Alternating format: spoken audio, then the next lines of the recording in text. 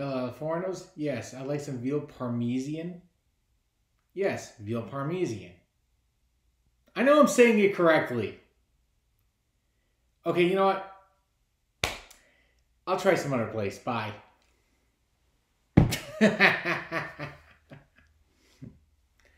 well, Rick and Morty's back. So here I am doing another review. And because I'm using Comcast, I have to wait for it to come on Google Play. I would have had this done pretty much Sunday if I actually still had Adult Swim. Wow, this episode got very disturbing very quickly, right? I mean, yeah, it recycled quite a few Rick and Morty uh, tropes, like abandoning your reality and go to another reality. This episode takes place right after the conclusion of last season, where Rick and Morty are still stuck on what remains of the Citadel of Ricks. And uh, yeah, we had quite a few kill count here, didn't we? I mean, first off, we had the Mortys basically devouring that Morty after they went feral. And of course, you know, we had Space Beth come back and she saved them from the wreckage. They immediately go down, and Rick, of course, immediately wants to repair the fluid for interdimensional travel. Sadly, he screws up immediately. And they get sent back to their original universes. Like, uh, Morty got sent back to the Cronenberg universe. Rick got sent back to the universe where Beth doesn't exist anymore. And of course, Jerry got sent back to his universe. yeah, that was a callback from season two when uh, Jerry got sent to Jerry daycare. This was basically dealing with a lot of the sins from the series so thus far. Like Rick having to deal with the fact that his wife was killed.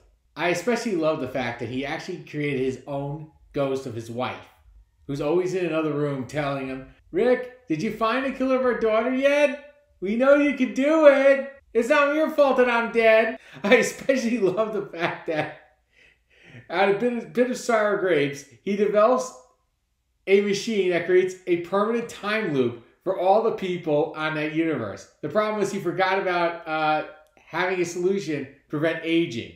So these people were completely senile, doing the same things over and over for about, let's see, Beth is over 40, yeah, for over 40 years.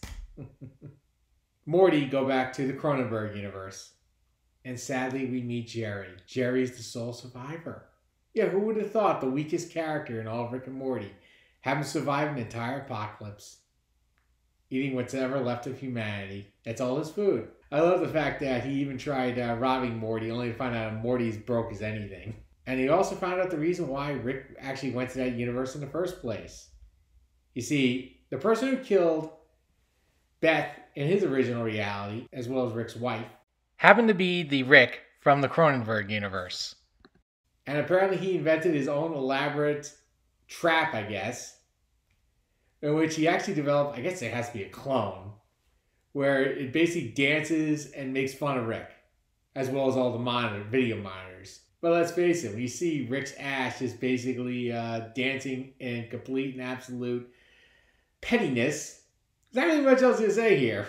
I especially love the fact that Jerry's original universe, everyone was highly abusive. There was not one friendly thing that people said to each other, especially when it came to Jerry. We also found out what happened to uh, the, the original Jerry from season two. And now I gotta talk about the most disturbing thing I've seen the whole thing North America biting South America. Yes, this happened at the end of the episode. North America bits South America. Mr. Frundles might be the most disturbing thing I think I've ever seen.